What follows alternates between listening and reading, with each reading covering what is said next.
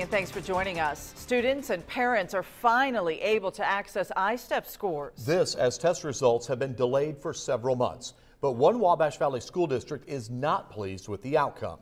News 10's Lindsay Yates has more on the latest error causing frustration in tonight's Education Watch 10. Checking those long-awaited ISTEP scores only to see a failing grade. They're questioning, I mean, they're, they're concerned. Uh, they're upset. For 256 graders at North Clay Middle School, the results make it appear 0% passed, which Superintendent Jeff Fritz says is mathematically impossible. We really question the validity and reliability of the test. State officials say a sync issue is to blame. There are two parts to the test, but only one has been graded. The information is either not there, they're trying to formulate it all, it's lost, we're not exactly sure.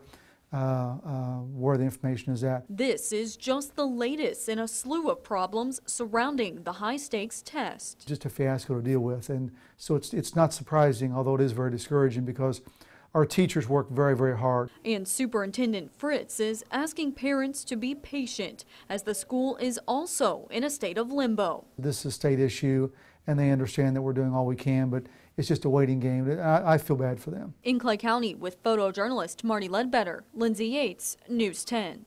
Now, school officials are told the rescoring process is underway. They are uncertain, though, when the results will be updated. We will continue to follow this story and bring you more information as it becomes available.